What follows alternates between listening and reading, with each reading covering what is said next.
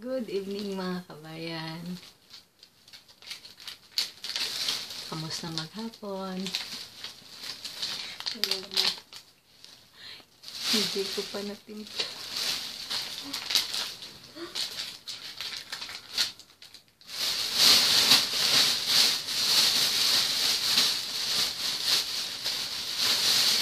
Alam niyo guys, ito,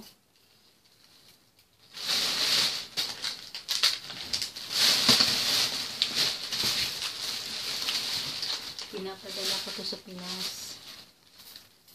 Binibenta, binibenta to sa tindahan namin.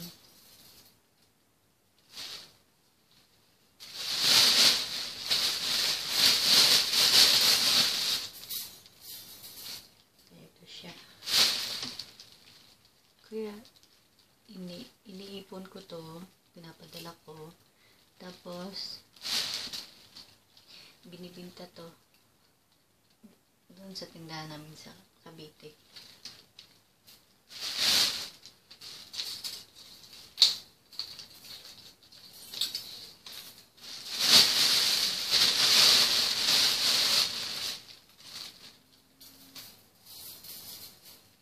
Kasi, kasi dito yata akong lang naman.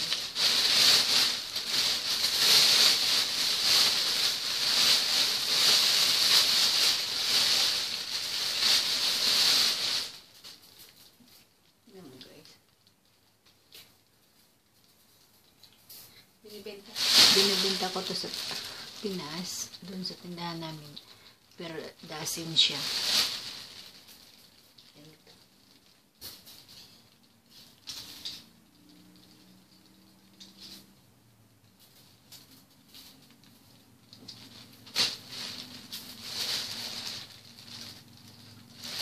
Kamusta yung buong maghapon nyo, mga kabayan?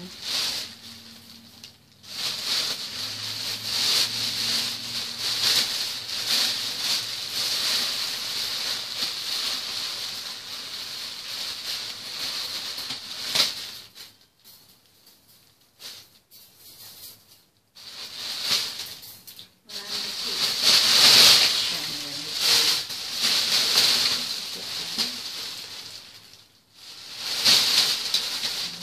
Puro.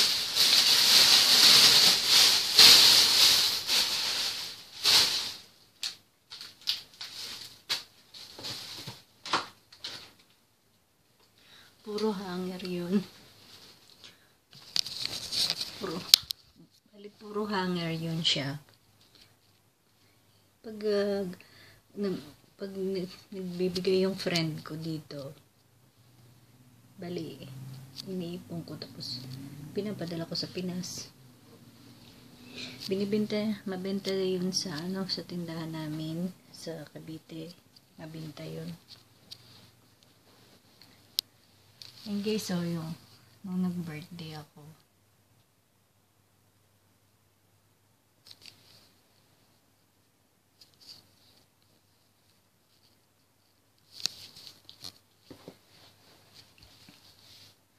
yan yung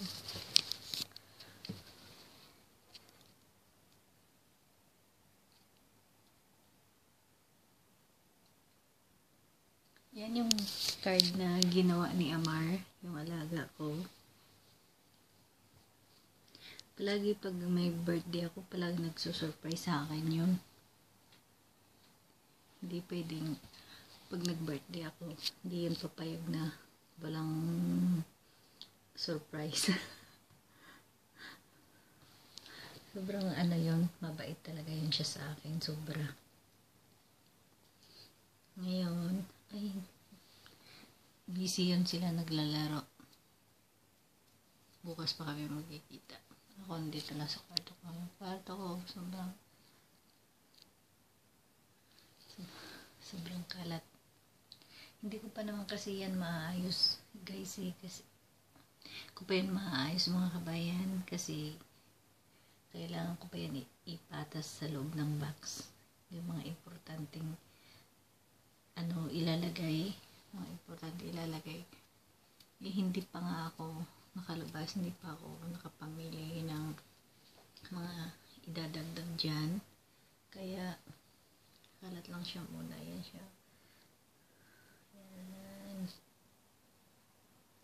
Tapos yung sa yung sa plastic na puti, puro hanger yun. Yun naman, malaki ang tulong din yun sa akin. Kasi nga, binibenta. Nagbenta kasi yun sa Pinas. Binibenta namin yan. ah 25 per dozen.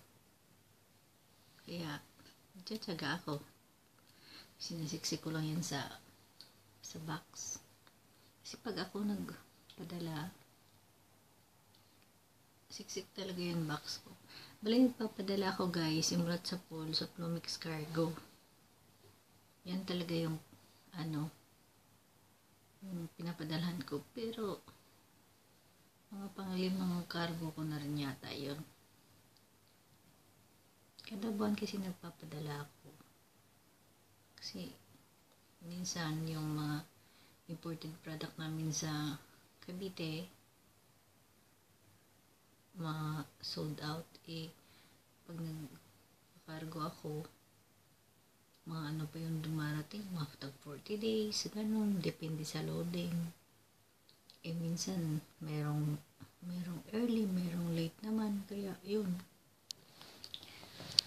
bukas busy na naman ako bukas alam nyo guys busy na naman kasi bu may basketball pala si Amar bukas schedule.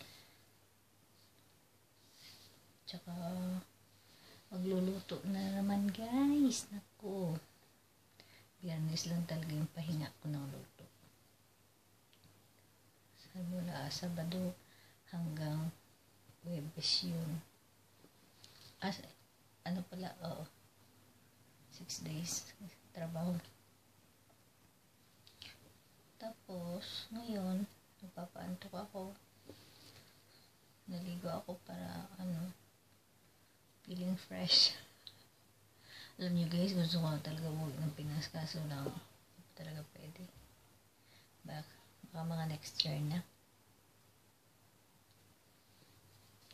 Uwi ako ng Pinas. Uwi ako ng Pinas kasi bakasyon ko na sana. Kaso, hindi naman, hindi ko naman mapuntahan yung anak ko sa pag, pag ano, uwi muna ako ng Cavite, tapos pupunta, pupuntahan ko na naman yung mga anak ko sa Negros. Taga Negros kasi ako guys, pero yung nanay ko taga Iloilo, yung tatay ko naman taga Manapla Negros Occidental. Tapos, ako naman naka kuha ako ng bahay sa Cavite. Kaya, six years na akong hindi nakauwi sa, hindi, na, hindi ako nakauwi ng Negros. Mga anak ko, kasi, dalawa na yung apo ko guys eh, meron na ako. Apo yung, second ako, apo ko, bye uli, bali, ano na siya, um, one week na siya ngayon, Siyempre gusto ko naman ma, ano, ma-spend gusto ko naman umuwi dun sa Negros.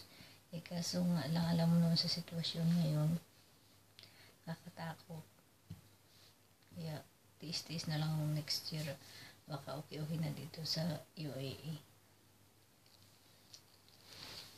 kaya guys yung mga bago pa lang dyan sa channel ko alam niyo na kung anong gagawin niyo mga kabayan. Don't forget to like and, and subscribe to my YouTube channel. Thank you and God bless.